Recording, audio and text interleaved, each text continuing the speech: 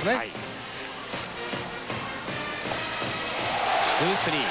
はい浴びて決勝戦が始まりました。空振り三振。変化球決まった。よく打っています。7本のヒット。打点は2です。伸びがありました。楽に投げるフォームを心がけています。ははホームラン1本を含み、えー、3回戦でもホームランを打っています。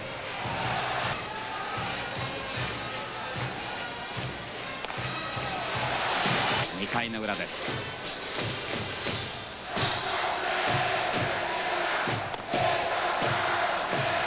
2を上げたいと語っている藤原です。燃えています。